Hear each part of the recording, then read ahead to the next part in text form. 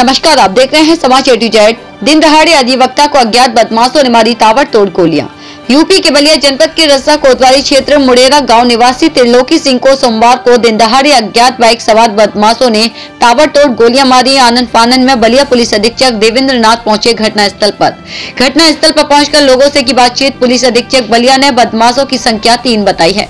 Police अधीक्षक बलिया देवेंद्र नाथ ने कहा है की जल्द होगी गिरफ्तारी। रस्ता तहसील अधिवक्ता संघ के पूर्व अध्यक्ष त्रिलोकी सिंह को गोली लगने के बाद रस्सा सीएससी अस्पताल पहुँचाया गया। जहाँ चिकित्सकों ने उपचार कर बलिया सदर अस्पताल भेज दिया, वहाँ से भी चिकित्सकों ने उपचार कर दोपहर में वाराणसी ट्रामा सेंटर के लिए रेफर कर दिया। पुलिस के अनुसार प्रथम दृष्टया जाँच में जमीनी विवाद में अधिवक्ता को अज्ञात बदमाशों ने गोली मारी है।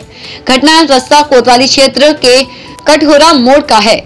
समाचार टू जेड के लिए बलिया से पिंटू सिंह की रिपोर्ट।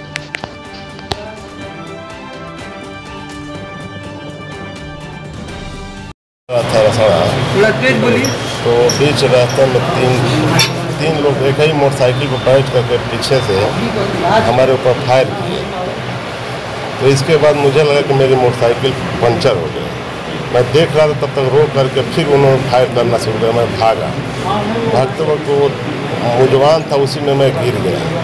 तो फिर खड़ा होकर के उन्होंने फायर किया तो वही मेरे बाह में गोली लगी। फिर उन्होंने फिर उन्होंने उसी रास्ते से भाग गया। कितने लोग थे वो एक ही मोटरसाइकिल पर तीन लोग थे।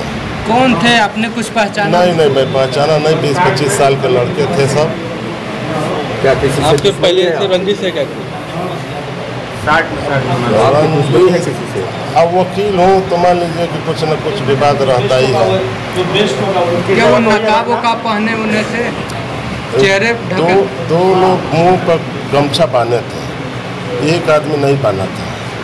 वो सांवले रंग का था। से रसड़ा में अधिवक्ता हैं ये ग्राम मुंडेरा के रहने वाले हैं। आज सुबह ये आ रहे थे तहसील के लिए, ये कठौरा के पास। इनको बाइक सवार तीन लोगों, तीन लोग थे जिन्होंने गोली मारी। इनके हाथ में गोली लगी हुई है। एकदम आउट ऑफ़ डेंजर है। कोई परेशानी नहीं है। कुछ भूमि विवाद से जुड़े हुए तथ्य उनके द्वारा बताया गया है। उन तथ्यों की जानकारी की जा रही है और कुछ लोगों से उस संदर्भ में पूछताछ की जा रही है।